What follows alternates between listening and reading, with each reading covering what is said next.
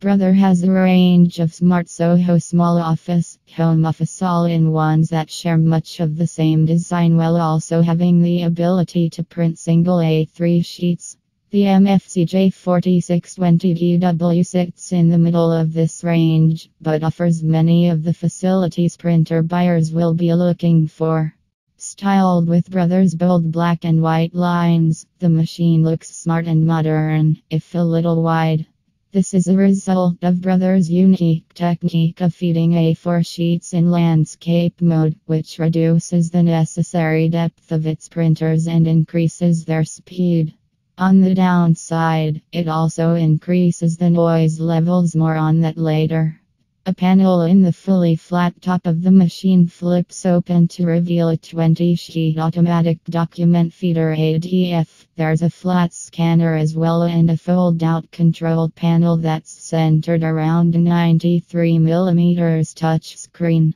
Brother MFCJ 4620DW connections and cartridges left of the control panel is a flip down cover with USB, South Dakota, and memory stick slots behind it. It's increasingly unusual to find such versatility in a mid range all in one. Below the controls is a single 150 sheet paper tray, plus there's a single sheet feed at the rear of the device, which can take paper from 15 x 10 centimeters up to A3. It feeds out to a short pull out tray. Physical connections include USB and Ethernet, and both sockets can be found inside the printer, accessible by folding up the scanner section. There's also a Wi Fi connection, which opens up access to network PCS, online sources, and the direct connection of mobile devices. Loading ink is simple, with four cartridges sliding in behind a flip down cover at the right end of the front panel.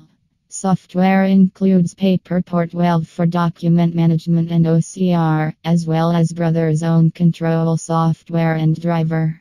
Brother claims healthy speeds for both black and color prints from the MFCJ 4620DW, 12 ppm for black and 9 ppm for color.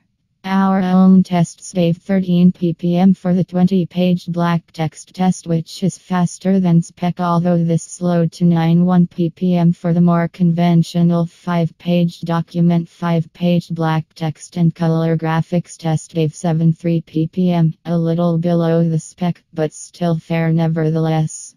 An A3 page completed in 31 seconds. Copies took 17 seconds for a single color page and 36 seconds for 5 pages from the ADF. These times are well up with the machine's competitors, although photo times are long in comparison. These varied from 1 min 42 secs for a best quality photo from a PC to 4 mins 1 sec for a standard quality one from an SD card. This is a well equipped all in one for the money. Although there are rivals such as the HP OfficeJet 7510 and the superb Epson Workforce WF7610DWF, both machines also print A3 pages, but the HP doesn't offer duplex print, and both Epson and HP machines have only single paper trays.